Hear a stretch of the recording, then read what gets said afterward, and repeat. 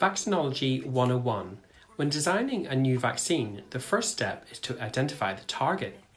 Based on research carried out in 2004 on SARS, we have a good idea of what that target should be.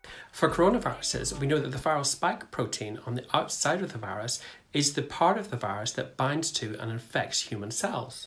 So, an effective vaccine would need to block that from happening.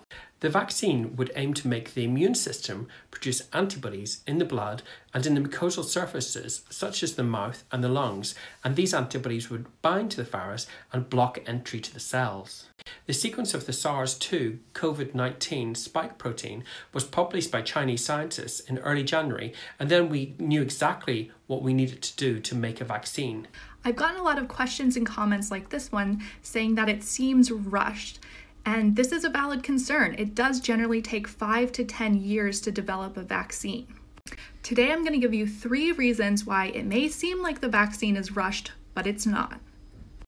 No matter what vaccine it is, it has to pass the same regulatory checkpoints to make sure it's both safe and immunogenic.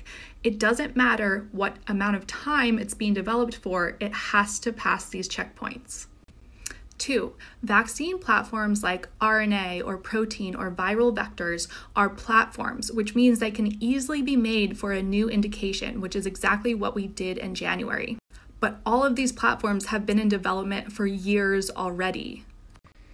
Three, it's been a group effort. Usually people are working on lots of different types of vaccines, but everybody's right now just focused on COVID. So it's been much faster.